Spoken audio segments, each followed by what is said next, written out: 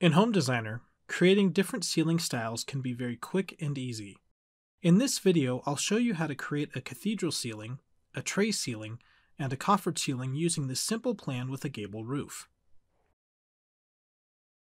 Creating a cathedral ceiling simply involves removing the ceiling platform from a room. To do this, select a room and open it for specification by clicking on the Open Object button on the Edit toolbar. On the Structure panel, uncheck the Flat Ceiling over this room checkbox and click OK. When you do this, Home Designer removes the ceiling platform and draws the ceiling finish on the bottom of the roof planes. If I want to change the pitch of the ceiling, I need to change the pitch of my roof. To do this, I can go to the Build menu, Roof, and click on Build Roof.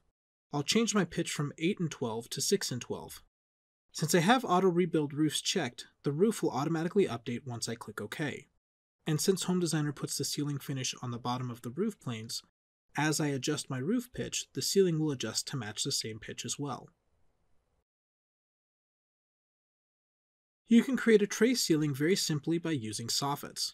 The soffit tool can be found under the cabinet's parent tool.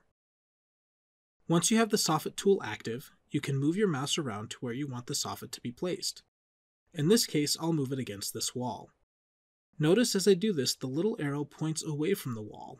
This arrow is the face indicator for this soffit, indicating which face is the front face of the soffit. With the soffit facing the correct direction, I will simply click to place the soffit in the plan. I can then click on the edit handle in the middle of each edge of the soffit and drag it out until the soffit snaps to the wall. I can also grab the edit handle in 3D views and adjust the depth of the soffit to my desired depth as well. Notice that the soffit takes on the molding properties for the room once it connects to the wall. Now that I've placed one soffit that is the exact size I want it to be, instead of placing a new soffit and resizing it, I'll make a copy of the existing soffit and move it into a new position. I'll select the soffit, click on the copy paste button on the edit toolbar, and then drag a copy from one side of the room to the other. Notice when I did that, the face indicator is facing into the wall and not into the room. While not necessary in this application of soffits, it's sometimes necessary in other situations to have the soffit facing into the room, so it's a good practice to have the soffit front always facing into the room. So I will use the rotate edit handle to rotate the soffit front to be facing into the room. I'll make another copy of this soffit and click to place it in the plan. I'll then use the middle edit handles on the edges to resize the soffit until it snaps to the inside edge of the wall. I'll use the move edit handle to move it into position. And as I did previously, I'll make a copy of this soffit, drag it to the other side of the room, and then rotate it so the front is facing into the room. Once my soffits are placed, I can use the material eyedropper to have the color of my soffits match the color of my walls. I'll click on the material eyedropper in my toolbar and click on the wall to load that material into the material painter. Once I've done that, I'll change the scope of the material painter from component mode to room mode. This will make it so all of the drywall in the room will change all at once instead of having to click on each soffit individually. Now that I've changed the scope, I'll simply click on one soffit and all of the soffits will update at the same time. To make a coffered ceiling, I'll do a similar process as the tray ceiling.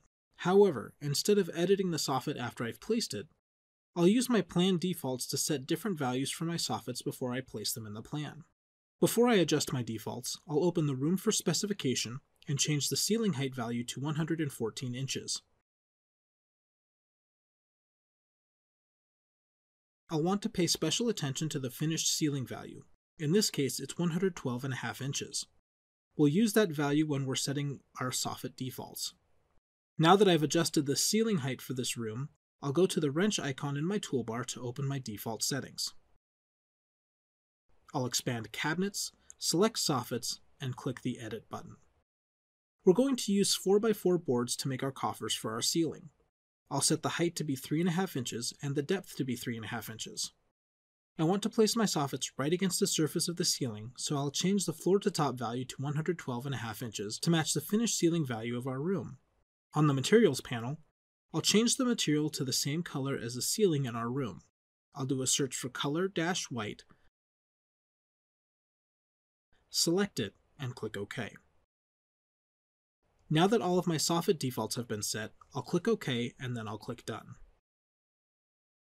I'll select my soffit tool and click to place it in the plan. I'll click on the middle edit handle on one of the edges and drag it out to the wall. I'll do the same thing on the opposite edge. Now that I have my soffit running the length of the room, I want to place it exactly 4 feet from the wall. With the soffit selected, I'll click on the temporary dimension running between the wall and the soffit. I'll change the value to exactly 4 feet and press enter on my keyboard. When I do that, the soffit will move to exactly 4 feet from the wall. Since I've got this soffit exactly as I want it, just as with the tray ceiling previously, I'll click on the copy paste button and drag a copy of this soffit to the other side of the room. Again, using temporary dimensions with the soffit selected, I'll click on the number and set it to exactly 4 feet from the wall. I'll then place another soffit and rotate it 90 degrees to create the full coffered ceiling. I'll stretch it out to meet the walls and then use the temporary dimension to set it to be 6 feet from the wall.